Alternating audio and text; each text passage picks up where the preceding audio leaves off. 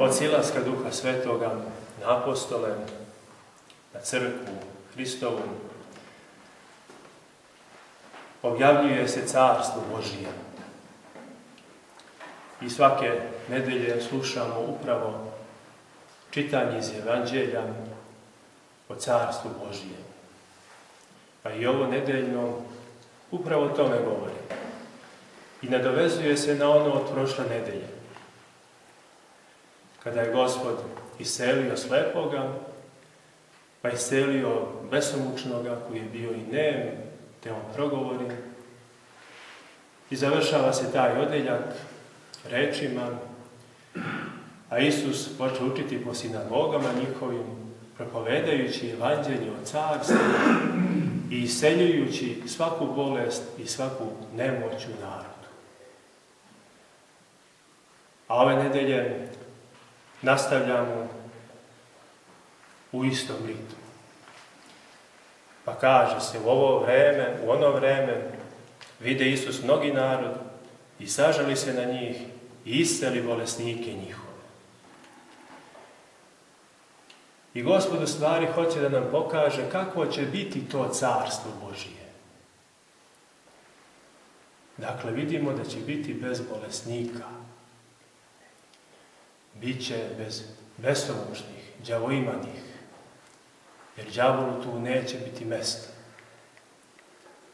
Svakome onome koji u ovome životu služio demonima ili na neki način i iz nekog razloga bio obsednut demonima, ili je bio nem, gluv, slep, kljast, ubog i od bilo čega bolestan, tamo će mu se sve nadomestiti.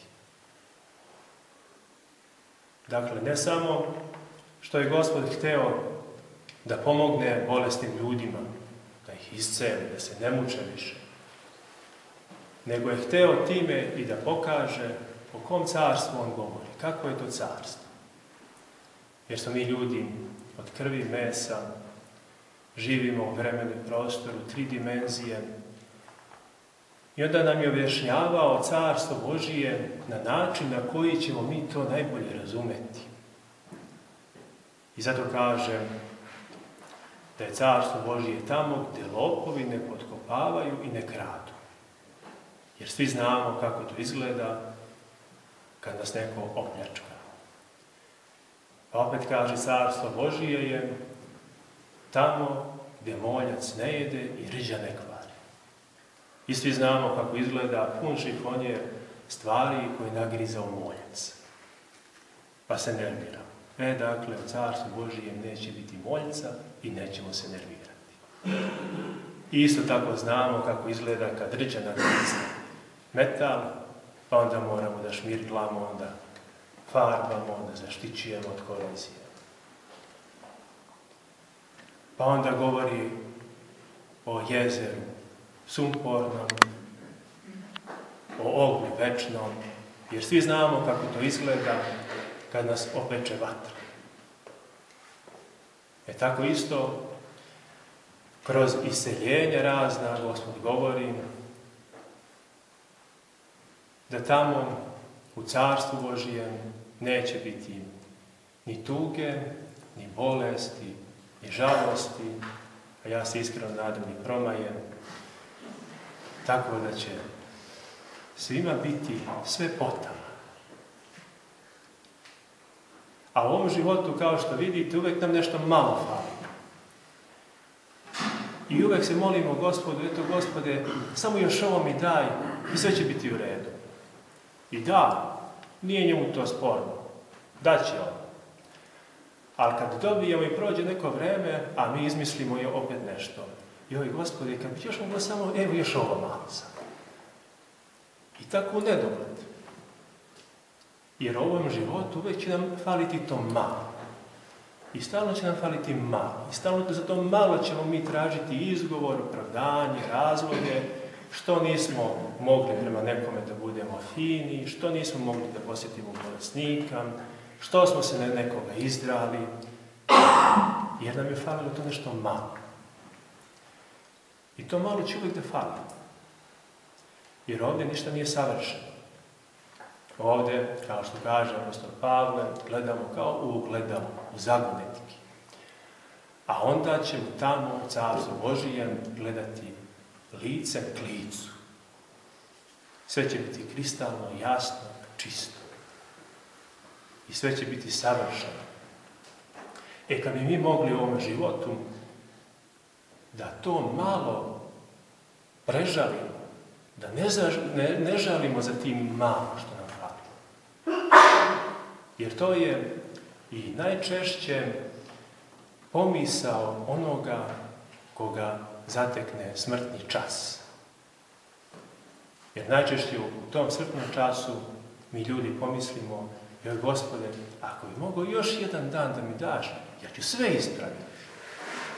A koliko puta nam gospod da, ne samo taj jedan dan, nego budemo i na operacijnom stolu i život nam visi u koncu i kad ponovo ozdravimo, mi zaboravimo da nam je Gospod dao ne to malo, ne taj jedan dan, nego godinu, dve, deset.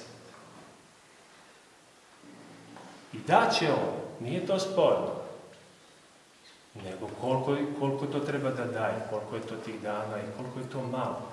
Još. Nego malo danas, malo sutra, malo prek sutra i ono se napravi gomila. E pa kad natovarimo gomilu tog malo, e onda je muka u samrtnom času,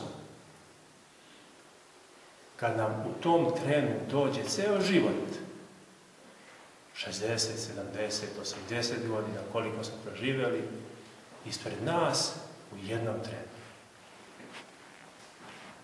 A onda pomislimo, eto još jedan taj dan, ali taj jedan dan neće biti dovoljno. To je problem. Imao si 80 godina i fali ti još samo jedan. E baš. Ne fali taj jedan dan, nego je falilo 80 godina. E zato, kad god pomislimo za to malo, gospode, eto još samo malo, to vam izgleda kao samrtnički ropac, samrtnički vapaj. Jer u tom samrtničkom vapaju mi tražimo još to malo, još taj jedan dan. E, nemojmo biti živi mrtvaci koji budući živi u samrtničkom vapaju svaki dan tražimo, e gospodi, još samo ovo mi uradi u životu, još samo mi ovu molitvu sliši. Zaboravi, prežali. Jer ako budeš tražio sve ovdje u ovom životu, nećeš dobiti tamo ništa.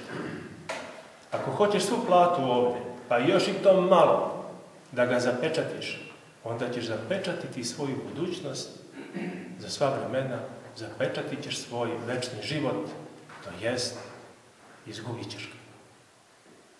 Još ovdje ćemo ga izgubiti ako budemo stalno tražiti to malo i stalno malo sitničarimo, sitne duše ispadamo.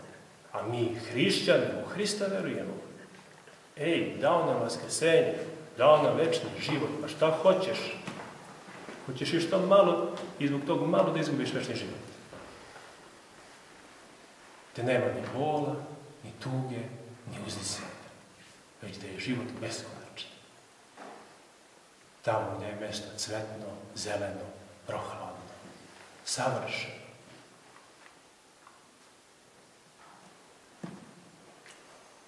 Zato kaže apostol Pavle da ovo smrtno treba da se uvuče u besmrtno i da ovo propadljivo treba da se uvuče u nepropadljivo.